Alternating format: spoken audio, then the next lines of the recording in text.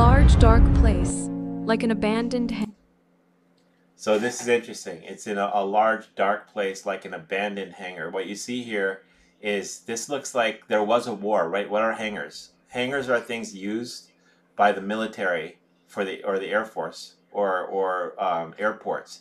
These are for transportation and warfare. And what we see here, especially when I think of a hangar, I think of military hangars.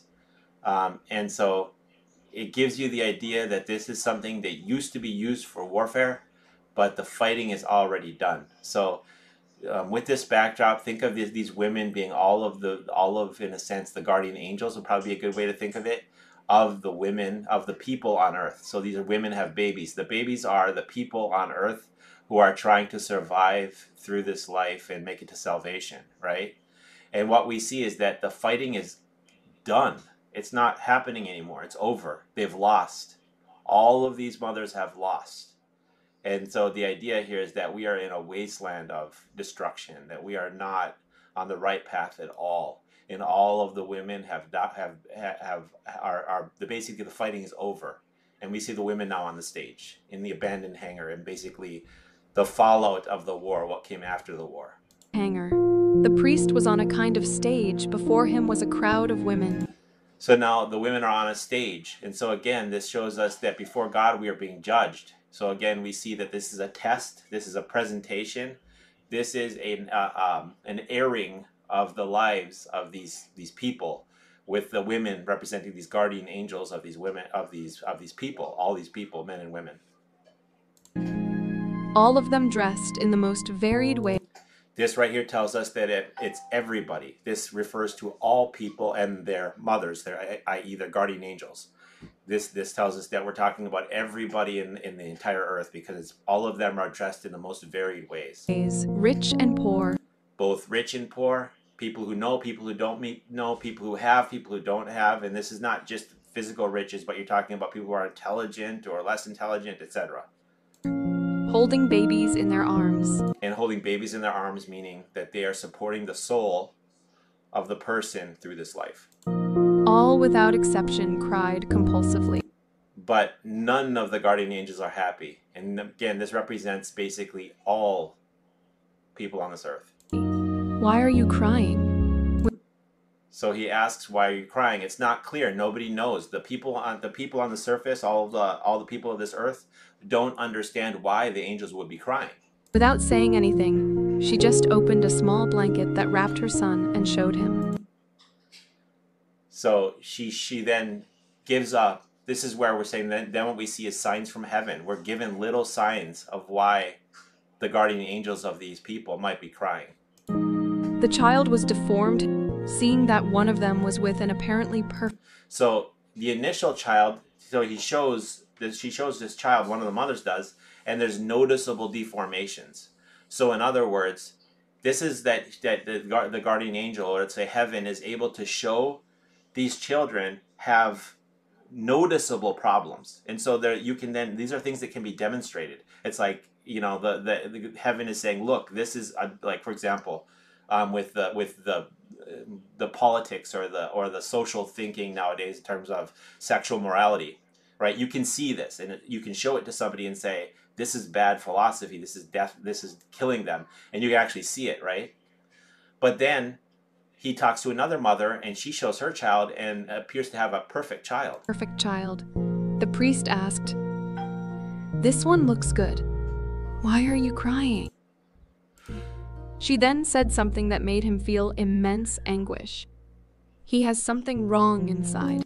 So now this one, what we see is even when somebody when you can't identify a problem, when it's not something that the that, that God is showing you or something you can see on the surface. Oh, I understand why this person is is is is is in danger of losing their salvation. I understand why this person is is is going to hell. When you can't even say that, um, there's still something wrong inside. In other words, there's a deeply um, there's there's something deeply wrong with people on this earth right now where we are, and some of the things can't even be identified. It's so bad. Suddenly, the priest saw the image of the Virgin Mary hovering above all the mothers. She had baby Jesus in her arms, and they were both crying. So what we see now is Mary with the baby Jesus, and what we see in this is that she has a baby who's not dying and is not deformed, right? So we have one perfect baby, which is Jesus. And what we're seeing is that they're hovering above all these women and they're both crying. So they're also crying with the mothers. But um, what is to note here is that is that she's she's holding she's holding her baby um, and feeling immense anguish for these mothers, but not saving them. So, I mean, I'm not saying that she wouldn't save them, but that's not what's happening here. What she's doing is she's mourning the loss, and that's the state we're in right now. Nobody's listened to the signs of heaven. They haven't listened to the prophecies. They haven't listened to. They have, and people have gone on in pride. And we are now at a place where Mary is comforting and mourning the angels of these humans, and and these humans, and not and they're not being saved. They're still being lost. And so we're in a place where there's almost a general loss. And what we have from heaven is comfort. Their tears fell like a rain of light on these mothers. Then the dream ended. A general overview, what this dream indicates, at least it looks like to me, is it's talking about a general destruction on this earth that almost everybody is encompassed in. All of the guardian angels, all of the spiritual mothers behind the humans of this earth are carrying to term, carrying these babies that are deformed. In other words, that they are they are sick um, with sin and they're on a path of destruction. They are not in the right way. Most of them you can see and you can demonstrate what that is. Some you can't because it's it's embedded within in some dark um, things that we don't even understand that are that are where people are are um, are, are, basically the general destruction that everybody's in. There's paths that all of the people on earth, including all of the religious, all of the holy people on this earth, are in some really bad paths and doing and, and having bad practices, all in danger of the loss of salvation. And so this is kind of the general message. And um, but so even when somebody looks good, even when something looks like when you watch somebody on TV and you're like, well, this priest is telling us the right message, and that that's that may be true, but you really need to hold close to the commandments, not sin, etc., because you'll be led astray by even that which looks like it's teaching you something holy, and that's one of the clear takeaways from this dream. And the war, the war for salvation has already passed. It's over. It's done. In a large dark place, like an abandoned hangar, the priest was on a kind of stage. Before him was a crowd of women, all of them dressed in the most varied ways, rich and poor, holding babies in their arms. All without exception cried compulsively. Why are you crying? Without saying anything, she just opened a small blanket that wrapped her son and showed him. The child was deformed Seeing that one of them was with an apparently perfect child, the priest asked, This one looks good. Why are you crying? She then said something that made him feel immense anguish. He has something wrong inside.